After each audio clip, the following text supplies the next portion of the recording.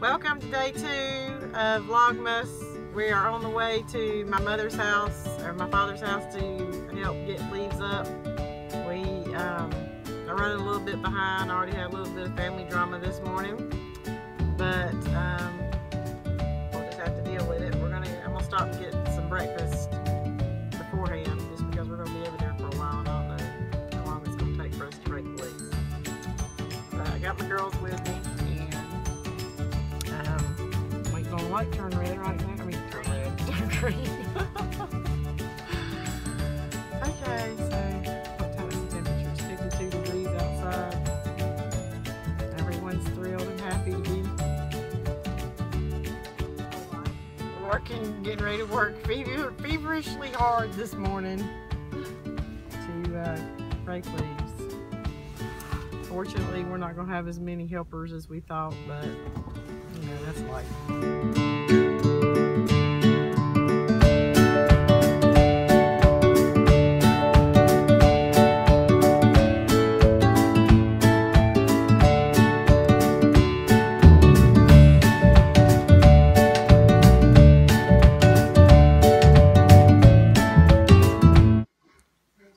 Okay, we just got back from um, town where we went and raked my mother's leaves. We actually got there about 11.30 and did not get done till 5 o'clock. So um, we felt really dirty and tired. I just got out of the shower and now I'm going to have myself some hot chocolate and relax. My favorite hot cocoa is the holiday collection that they put out at Walmart um, for Christmas every year. I usually try and buy one or two packs to last me through the cold winter months, um, January, February. The um, each little box just has the cutest pictures on them. Um, there are five different flavors: dark chocolate. I think that's mint. Oh, sorry, French vanilla, caramel cream, mint chocolate,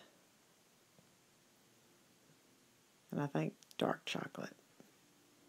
And all of them are very good. Um, you have a good variety. It's not just your standard milk chocolate. The pictures on the boxes are super cute. I think that actually when I get done with those, I'm going to um, recycle those pictures. The tin can that I keep those in actually come from the Dollar Tree. I saw that this year, and I just love the little cups of hot chocolate that's on the front of them. I just think they're super adorable.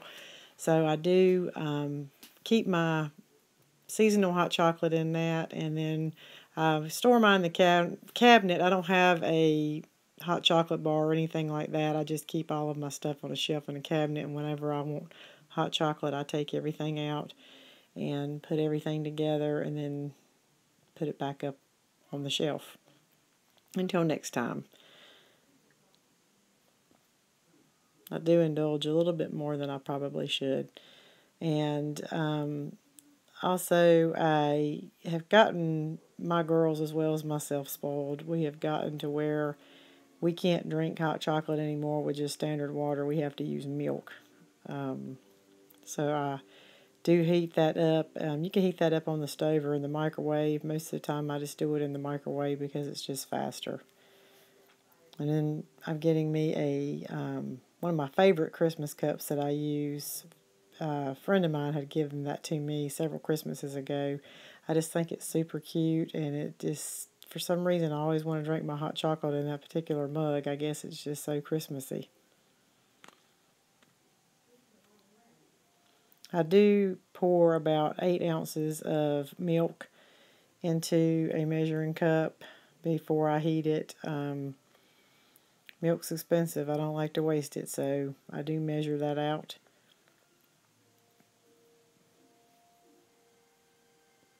Heat it up for about two minutes.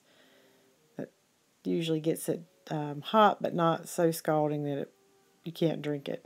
Of course, I have to have my marshmallows. And I usually pull out everything I have in the cabinet because I'm not really sure exactly what I want um, until I'm until I'm making my hot chocolate. So um, whatever I don't use, I just put back. but I always have marshmallows. And the hot chocolate that I'm using today or tonight is the caramel cream.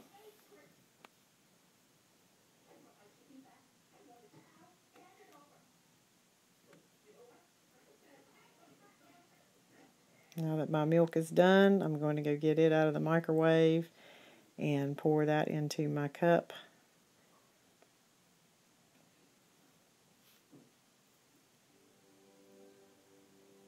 Oh, well, I guess first I'm going to show you that I have a um, peppermint bar.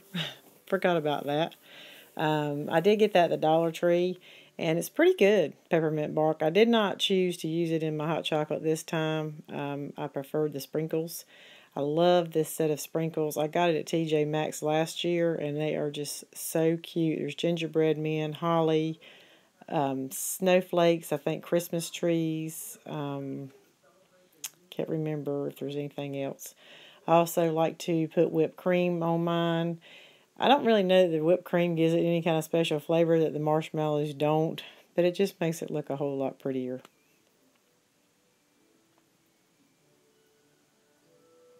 You give that a quick stir and just continue to stir it for about a minute or two just to make sure everything's good and blended in so that you don't have chunks of chocolate powder in the bottom of your cup.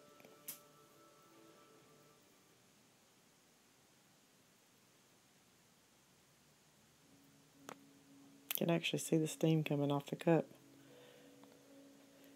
And if your hot chocolate does get a little bit too hot, the whipped cream will always cool it down just a tad. This is definitely an indulgence.